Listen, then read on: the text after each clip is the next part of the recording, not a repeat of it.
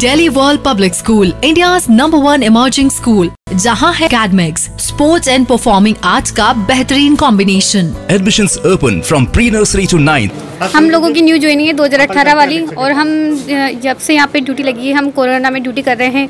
पहले तो हमें क्वारंटाइन दिया था लेकिन अब क्वारंटाइन नहीं दे रहे हैं।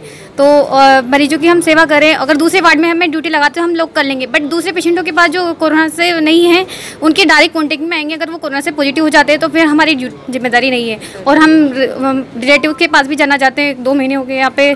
तो और बस यही प्रॉब्लम है कि हमें क्वारंटाइन अगर नहीं दिया जाए तो प्रशासन की ज़िम्मेदारी रहेगी।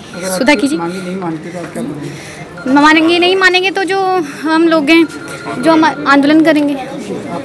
सुधा कीजिए आज हम पुष्पांजलि प्रोग्राम किया सबसे पहले तो हमारा जो राम साहे धाकड़ नाम का कर्मचारी था जो मानसिक अवसाद में इन कोरोना की ड्यूटियों से परेशान होकर तीन महीने से रेगुलर अपने घर पर नहीं गया था।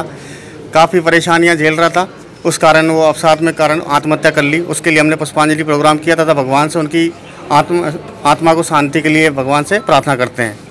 साथ ही सरकार से निवेदन करते हैं कि उसके आश्रय जो परिवारजन है उनको अनुकंपा नियुक्ति दी जाए ताकि उस परिवार का लालन पालन हो सके ढंग से। दूसरा जो ये कर्मचारियों की जो भीड़ दिख रही है, वो कोरोना योद्धा हैं, जो रेगुलर तीन महीने से अपनी कोरोना के मरीजों में सेवा दे रहे हैं और घर नहीं गए प्रशासन ने अचानक क्वारंटाइन ख़त्म कर दिया है, क्योंकि कर्मचारी रेगुलर ड्यूटी कर रहे हैं। कम्युनिकल स्प्रेड नहीं हो, संक्रमण फैले नहीं। उस चक्कर में क्वारंटाइन का एक प्रावधान था, वो प्रशासन ने किस आदेश के तहत बंद किया, किस आदेश के तहत बंद किया है ये बिल्कुल हमको पता नहीं है। हम जब भी आदेश की मांग करते हैं कि कौन सा आदेश आया आपके पास जिसकी वजह से आपने क्वारंटाइन ख़त्म किया है।